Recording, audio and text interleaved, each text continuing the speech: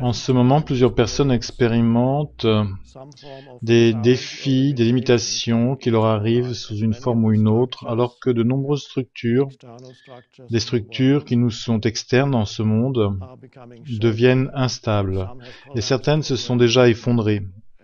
Rappelez-vous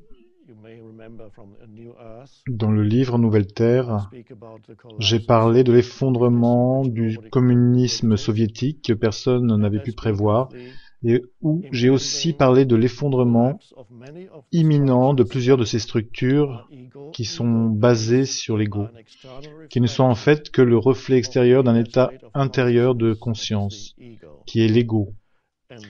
Et ces structures, qui incluent bien sûr les structures financières et autres, commencent maintenant à s'effriter.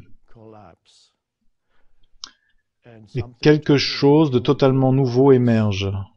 Combien de temps cet effondrement prendra-t-il Je ne saurais le dire. Mais nous pouvons tous clairement le constater, même les experts parlent de systémique. J'ai entendu ce terme à la radio, une crise systémique ou quelque chose comme ça. En d'autres termes, cette crise n'a rien à voir avec ce qui se passe en surface, mais concerne la structure même de ces organisations. Au même titre que le mental humain, les problèmes de la pensée humaine n'ont rien à voir avec son contenu. Peu importe le savoir de votre mental, mais plutôt avec la structure même du mental, la pensée humaine qui est appelée à changer. Alors, pour bien des gens, sous une forme ou sous une autre, des restrictions vont se produire dans leurs conditions de vie.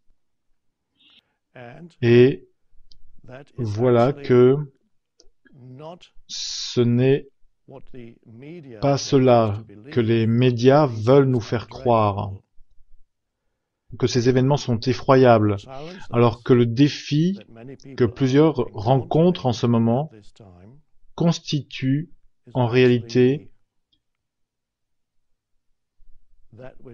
ce qui va les pousser vers un nouvel état de conscience. Il s'agit là de la possibilité qu'il y a là la promesse. Chaque fois qu'on se retrouve dans une situation de crise, qu'elle soit personnelle ou collective, il s'agit en fait d'une ouverture à un nouvel état d'être, une possibilité. Ça ne signifie pas que tout le monde va embrasser cette possibilité.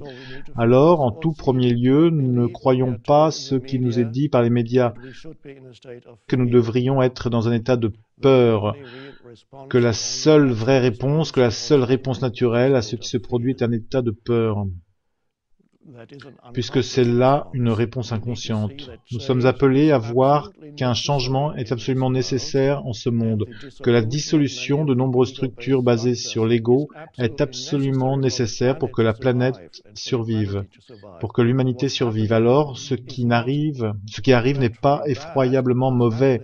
Ce qui arrive doit arriver. C'est la totalité, c'est l'intelligence, derrière les phénomènes qui fait cela. C'est là une bonne chose, et si des défis se présentent dans votre vie, ce qui peut vouloir dire des limites, des problèmes financiers, vous pourriez être appelé à changer d'emplacement ou à perdre des choses, alors que l'incertitude se présente dans votre vie, Oh, ça ne devrait pas se passer comme ça. Je devrais savoir ce qui va se passer dans les vingt ou trente prochaines années de ma vie. Eh bien, d'ores et déjà, vous ne le savez plus. Et ça, c'est merveilleux, en ce sens que il se produit subitement une ouverture dans l'incertitude. Alors vous est-il possible d'embrasser l'incertitude et de ne pas exiger de savoir ce qui va vous, vous arriver, ce que seront vos conditions de vie? D'embrasser le fait de ne pas savoir, d'embrasser l'incertitude.